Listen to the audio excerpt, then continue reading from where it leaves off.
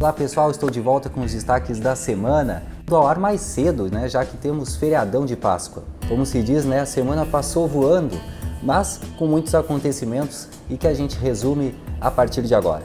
Eu começo falando sobre duas operações da Polícia Civil deflagradas na terça-feira, dia 27. Uma delas foi a Operação Desaparecidos, em que a polícia conseguiu localizar 25 pessoas em Caçapava do Sul.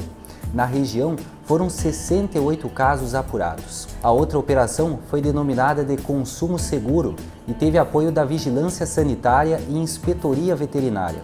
Mercados e restaurantes da cidade foram fiscalizados e, ao todo, 168 quilos de alimentos impróprios para consumo foram apreendidos. E entre eles estavam carne bovina, peixes, queijo, mortadela e pães com prazo de validade vencido. Então, aí, uma bela operação da Polícia Civil. A semana também teve acidentes de trânsito nas rodovias da região e na cidade. O mais grave deles aconteceu no último sábado, em Formigueiro. Três jovens de Restinga Seca morreram e outros dois ficaram feridos. Os nomes das vítimas fatais foram divulgados pela polícia. Marcelo de Melo, de 20 anos, Augusto Gonçalves Borges, de 24 anos, e Ana Cláudia Cassol Heinz, de 26 anos. As duas jovens feridas, Débora Adriane Platt e Chayana Ramos Cassol, estão internadas no Hospital Universitário em Santa Maria. O estado de saúde delas não foi divulgado. Na BR-392, em Caçapava, uma carreta saiu da pista na ponte do Mangueirão. Isso também foi no sábado, dia 24. O veículo ficou com danos materiais, mas apesar do susto, o motorista da carreta sofreu apenas ferimentos leves. E na cidade, uma moto teve a frente cortada por um carro na esquina ali entre a Avenida Coriolano Castro e a Rua Lúcio Jaime. E esse acidente foi na quarta-feira, dia 28.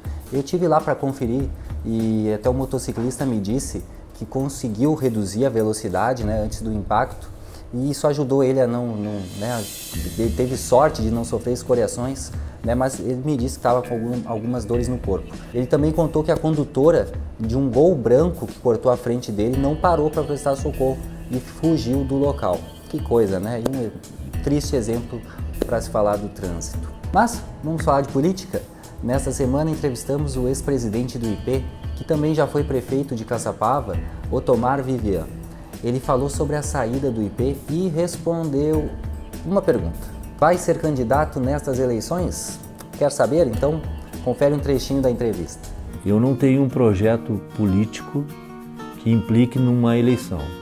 Ou seja, eu voluntariamente não, não vou tomar iniciativa de, de concorrer a cargos. Eu não sou candidato a deputado, enfim. De outro lado, é, no dia em que eu me afastei do, do IP, né, é, na mesma noite eu fiquei muito honrado com o convite que eu recebi.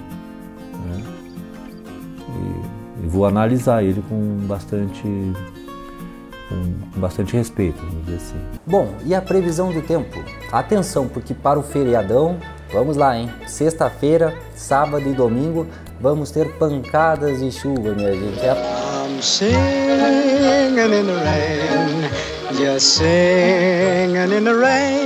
É muita, não é muita chuva. Ali vai ficar entre 5 e 10 milímetros, não passa disso por dia.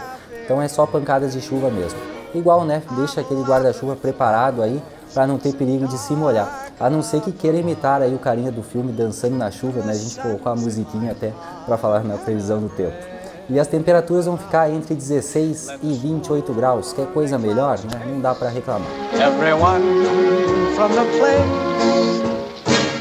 Antes de encerrar, né, deixa eu comentar sobre futebol, porque encontrei uma torcedora do Brasil de Pelotas que ficou muito feliz com a classificação do time para a final do Gauchão. Ela é a Gabriele Gibon, trabalha na biblioteca lá no Centro Municipal de Cultura, né? E ela é de São José do Norte e veio para Caçapava quando passou num concurso público da prefeitura. Né, e ela, conversando com ela, me disse rindo que vestiu a camisa do Brasil na quinta-feira, né, para ir trabalhar e parecia a Carrie, a estranha, né? Porque ninguém costuma usar a camiseta do Brasil aqui em Caçapava. Ela também colocou a bandeira na frente do apartamento, né? Ou seja, ela está confiante que o Chavante vai levar o caneco, né? Mas vamos ver. O primeiro jogo da final é neste domingo na Arena e o jogo de volta é no Bento Freitas, em Pelotas, no próximo domingo, dia 8 de abril. Para encerrar, os destaques da semana, né, já que estamos no feriado de Páscoa, que é sempre né, um período aí para renovar a fé, as esperanças, enfim, é, a gente deixa então uma mensagem do padre Rudney Lache para todos vocês. Então tá, pessoal, feliz Páscoa e até semana que vem. Tchau. Então que a Páscoa aconteça na tua família, na tua casa, que nós possamos cultivar os momentos de oração, que possamos viver intensamente a nossa fé e que a Páscoa seja o acolhimento de Cristo ressuscitado, Cristo vivo, no seio da nossa família, da nossa igreja, da nossa sociedade, superando todo tipo de violência contra a vida. Queremos então desejar, nós aqui da paróquia Nossa Senhora da Assunção, de Caçapava do Sul.